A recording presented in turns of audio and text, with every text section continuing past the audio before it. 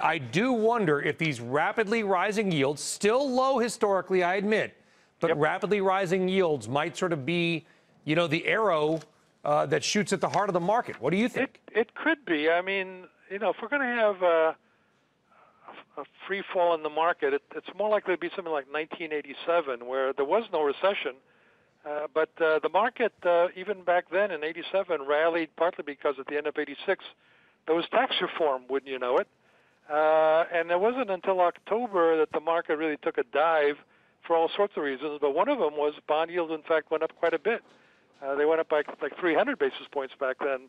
Here, uh, there's talk that if we just go over 3% on the 10 year, that that might unnerve the market.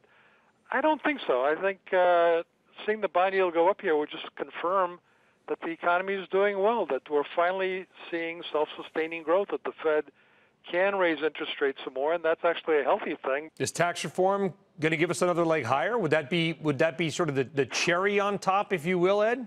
Well, the, the tax reform is just having an extraordinary impact on uh, on earnings. Uh, analysts, since uh, the tax package was uh, enacted, have raised their earnings by seven dollars a share for this year. That's that's a big increase. Uh, that's from what might have been 146 this year. Now they're looking for uh, seven dollars more than that.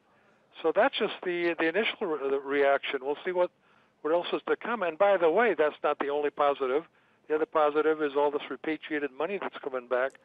Uh, we've been reading the um, some of these uh, conference calls the companies had, and it almost feels like they want to pinch themselves. They can't believe, you know, how great this is for their business and they're just trying to figure out all the ways they can spend it.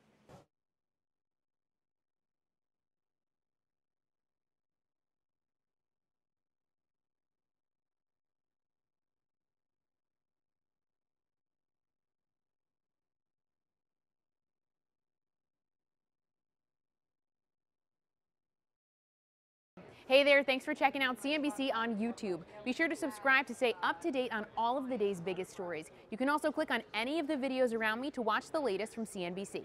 Thanks for watching.